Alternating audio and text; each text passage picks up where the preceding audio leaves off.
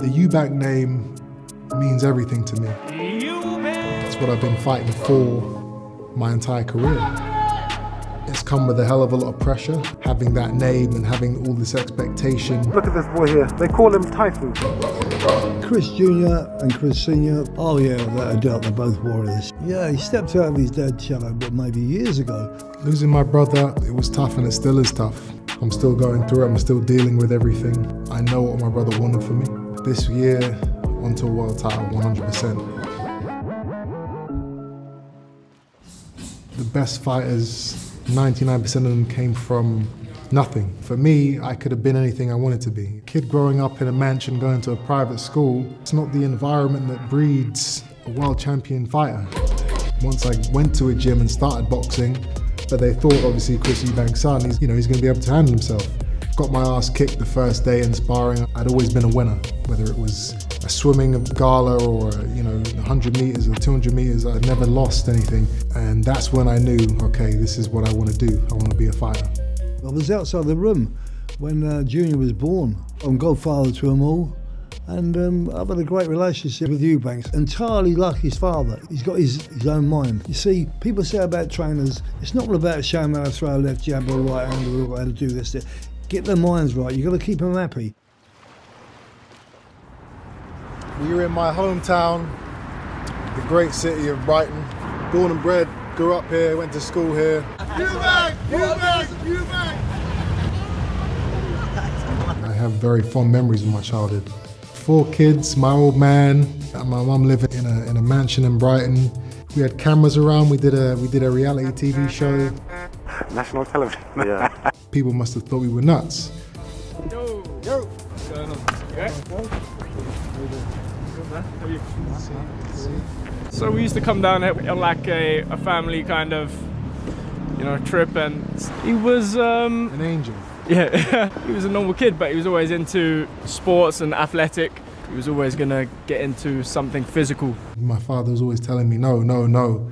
Boxing, being a fighter is too tough. So your boy's going to grow up and be boxers, do you think? No, no. No, I would hope not. Pretty much told me that he didn't think uh, I'd be tough enough. I had to see for myself what it was that he thought that I wouldn't be able to handle. There's a technique for this. I've forgotten how it goes.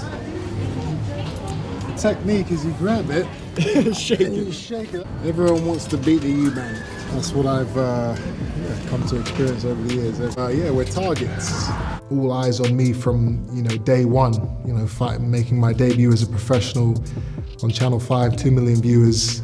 Carries a certain prestige, forces you to have to deal with that pressure and rise up to the challenge. Massive pressure, but if you know how to use that to your advantage, then it's actually a positive. My father's always been a big part of my career, big influence, a mentor and advisor, and he will always be that. Oh! Yes. We can get a teddy from the bottom. Do any of you guys want a teddy bear? Family's everything.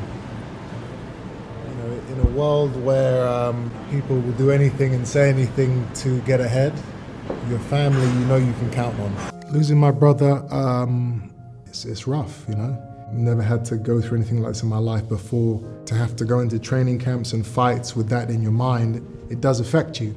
Knowing what Seb wanted for me, he knew what my dream was. That does push you forward, you know. And I guess that's helped me to to stay focused and to stay in the gym. Having having a, having a cousin with me on the journey now, gonna be fighting on my undercards. Um, it's a beautiful thing. Boxing is my life, it, it, and it's my lifestyle. Even when I'm out of the ring, out of the gym, boxing is always on my mind. We're in a fight camp, so yeah, I have my trainer here, I have my sparring partner here. I've got my uh, sports massage therapist downstairs. He's setting up in one of the rooms, and then I'll go across to the outhouse, and there's a, there's a gym. I find it's good to you know, get your body used to being active at night time because that's when you fight. You know, you don't fight at 6 a.m. Sparring and serving your time in the gym.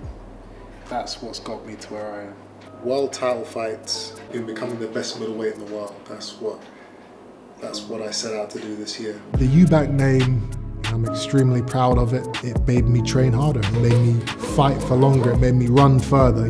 This year, we're going to be onto a world title 100%. You